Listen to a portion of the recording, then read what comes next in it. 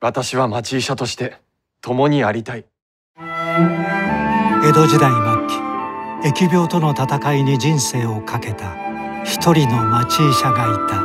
患者さんの無事を願いお役に立とうとしている姿をいつも見ております。これがうまくいけば多くの人の命を救う道が開ける。私の望みは人々を放送から救うこと以外にはございません。